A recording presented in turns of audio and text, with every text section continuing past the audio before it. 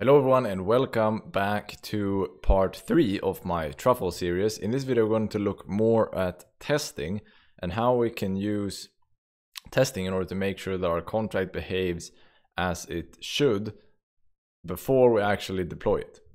So in the previous video we made a very simple contract you can see here. It's called uh, just hello.sol. It's a hello world contract that only stores a name and um, nothing else. We have functions uh, we can use in order to set and uh, get that name. What we're going to do here in order for us to test this a little bit easier, this is going to be a simple testing video, nothing complex. In the next part, we're doing, going to do a more complex truffle project. So then you'll learn testing in depth and how to use Open OpenZeppelin in depth with truffle. So uh, in order to make this video a bit easier, we're going to modify this contract. So we're not going to have any parameters to our constructor. Instead, we're going to set the name to just a string here in the constructor. I'll set it to Filip. And then we're going to add another state variable here that is a mapping, just so we have something more to check here. So we'll um, we'll assume that this is some sort of uh, token. So we'll have a mapping that maps uh, a balance. So let's call this balance. So this could map a balance of a token, but that's the only thing we want to implement. We will just set here balance for uh, message.sender, so that would be the creator of the contract to 1000. These are the mod modifications that we will do.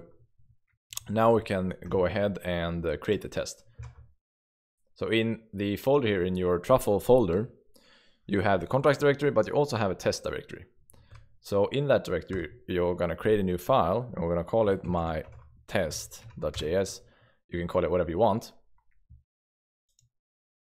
And in here, we're going to start off by requesting the actual contract because we'll need to deploy the contract and then work with the contract in order to check so that the variables in the contract are correct and that the state of the contract is correct. But in order to do that, we need to uh, let this JS file know about the contract and what it contains. So we import it, sort of. But in Truffle, we write art artifacts, artifacts that require, and then here's the name of the class. And the class is hello world. Not the file name, but the class name. And that's all we need to import. And then we type contract. So this will be a, a test for, well, in here, we will um, uh, we'll have, well, let me just show you. We'll say hello world, that's the name of the contract. And then we'll have a function. So this is like a callback function. That's not going to, that parenthesis is not going to be there. We'll just have, this is the first argument. And then the second argument here is a function. And then we'll close all of that. So in here, we're going to put all the tests that uh, are meant for the contract hello world. And we define each test by it. And then within this it function, we first of all provide the uh, parameter that is a description of the test sort of. So you should read this as a sentence. So it, and what I want to test in the first test is so that the thousand coins are in the right place, that the balance of the owner is 1000 coins or whatever. So it should put 1000 coins in the owner's account. So you read this as a sentence, right? That is what the test should prove. And then second argument is a function once again. And this function, let's just put some spacings here. This function should return hello world, which is our contract, deployed.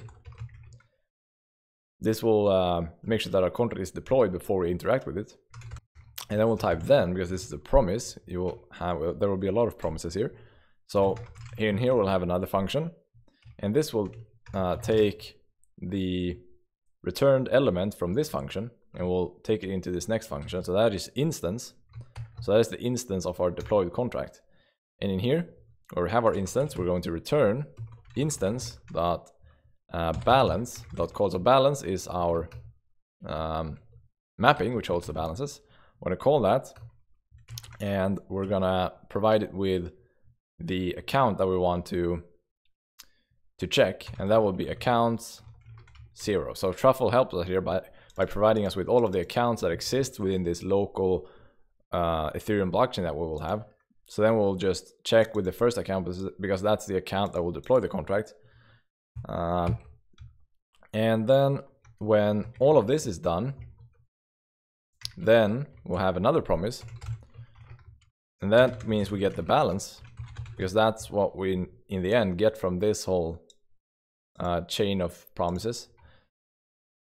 And then in here, we're going to assert. So this is how we actually check so that it's correct. So we're going to assert that something is equal. So what is it that, that is going to be equal? Well, it's the balance and the value of that balance. So we have value of. And then it's going to be equal to 1000. And if it's not, then it was then we need to display an error message. And that's going to be 1000 wasn't in the account. And then we're done with this um, first uh, first test here. Uh, after this, we can uh, create another test here. But let's go ahead and actually test this first so that you see how it works. Uh, and that means that we uh, need to open up the terminal and you should be in the folder of your contract. So let me step back here because I created a folder for this one. So truffle part three, you should be in the folder where you created your project. And then we go truffle develop once again. This will launch our local development network. And in here we can go uh, truffle compiles. We can see that we did everything correctly. Oops, we have something wrong. Oh, I typed it wrong. We don't need to type truffle. We're going to type compile. And it compiles fine. So that means that our changes were actually correct. Then we can go test. The test is going to, oops, take zero arguments, received one. Okay, we forgot to change in our migrations file because here we actually define how the contract is migrated. Oops, the deploy hello. So here we don't have a parameter here anymore for the constructor. So let's remove that in the deploy hello.js file in the migrations folder because that defines how the contract is actually deployed. So here, now our tests are run. When we write test, it will uh, say that it used the network develop, which is our local network. It is working with our contract hello world, and the test should put 1000 coins in the owner's account. And that is passed. And if we, for example, were to make a mistake here, so let's say we have a big project and we're editing something, and we make a mistake here, and we add another zero here, and we try to run this test again, it will fail. So this uh, is failing, that's why it's red, and here we'll say um, assertion error 1000 wasn't in the account, expected uh, 10,000 to equal 1000. So that's why tests are so great, because if we have a large code base, it can be very difficult to uh, keep everything in check once uh, many different team members are working on a project. So these types of tests are very important. We can also uh, play around with the contract in the test file. So we have a um, a name here, right? So the name is Filip, but we can change the name to set name. So let's do another check. Let's uh, just take copy this so we don't have to write everything again. And let's create another test. So it, let's just say it should return the name Filip. And in here, we can leave this first line here. We're going to make sure the contract is deployed. And after that, we're going to call, what was the, uh, we're not going to call balance. We're going to call get name. Was that the right function? Get name. Yes. Without any arguments. We're going to call that. And from that, we're going to get the name. And then we can assert that the name is equal to Filip and otherwise we will throw the name was not Filip. Then we can try to run that in the console. So let's open up the console once again and we will run test once again. And here we'll see that it uh, does exactly that. So now we have another test and it's passing. And let's do something interesting here. So we will take the same test as we did last time, but this uh, should return the name. Um, let's just do this. Should not return the name Filip because we're going to change it. So then here, before we actually return the name, we're going to call instance.setName and we're going to call it Bob. So, um,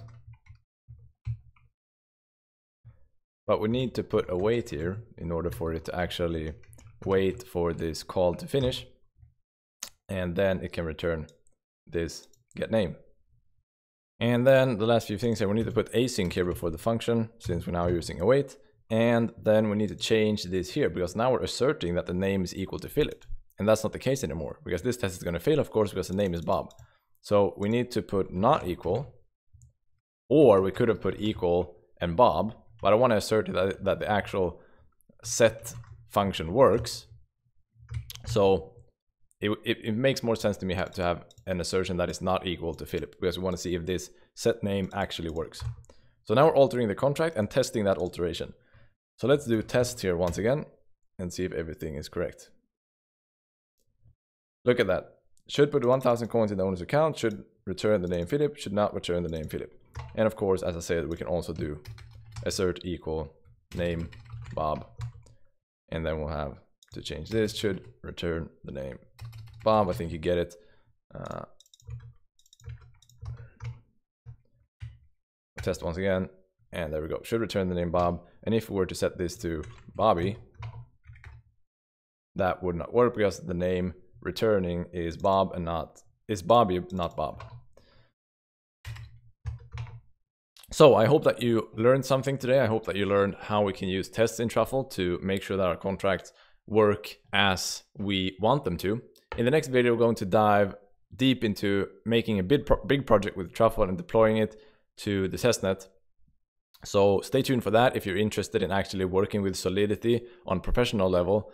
Um, I hope you learned something. Please leave a comment with your thoughts, your ideas, whatever you want to say. Leave a like if you liked the video and leave a dislike if you didn't like it. Uh, don't forget to subscribe to the channel either. It means a lot and I know that a bunch of you are watching these videos and not are not subscribed. I would love it if you guys hit that subscribe button and uh, stay up to date with the channel. I'm looking forward to seeing all of you guys in the next video.